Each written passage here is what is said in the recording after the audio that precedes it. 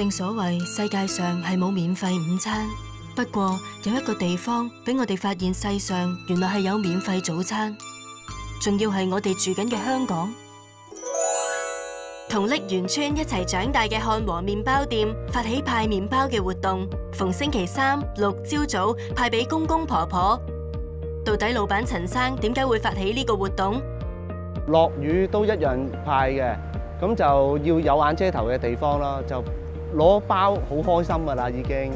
咁啊多數啦有餡嘅包啦，啊譬如啊腸仔啊、誒吞拿魚啊、咁腿蛋啊、餐肉啊，咁啊有陣時咧都會誒燕麥包啊、麥包啊、菠蘿包啊、雞尾包咁樣嘅。原先初初派咧就好早啊！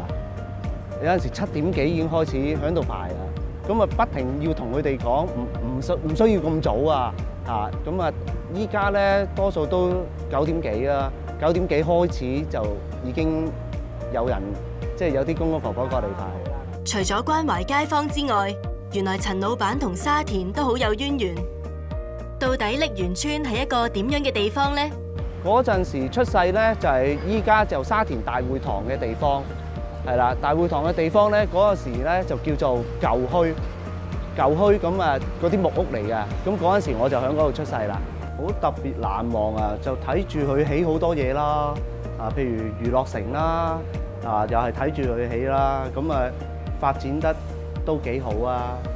成個瀝源村我都中意，係啊，因為啲人啦，嘅人人情味啦，係啊，咁啊，譬如做生意嘅。好多都幾十年嘅啦，係啊，全部都街坊一出門口就識得嘅啦。誒，其實咧，總之見到咁有咩問題咧，大家譬如我哋做商戶嘅都幫到，都會幫嘅。譬如誒成記啦，咁啊佢會派面啦，做好多善事㗎。我諗佢會比我哋更加耐，大家都係潮州人啊，係啊，所以特別 friend 嘅，係啊，我我哋同佢特別 friend 嘅。有人話過屋村充滿住人情味嘅故事，原來係真嘅。漢和麵包店就係一個例子。正所謂遠親不如近鄰，街坊嘅關係就係咁窩心。好多老人家因為需要情況，需要少少物資，咁我哋諗下可唔可以做啲嘢咧？嗰陣時開始派麵，嗰陣時係一百碗啫，而家就已經冇限額噶啦。仲有唔知派麵，仲有小禮物添啊！我第一次就未試過。係咯，開心啊！好彩啊，今日 好唔好食㗎呢件蛋？唔好食，不過我唔得閒啫。今日誒腸仔包幾好啊！哦，個老細咧誒成日派同埋攞好多去嗰啲長者中心派俾啲人㗎。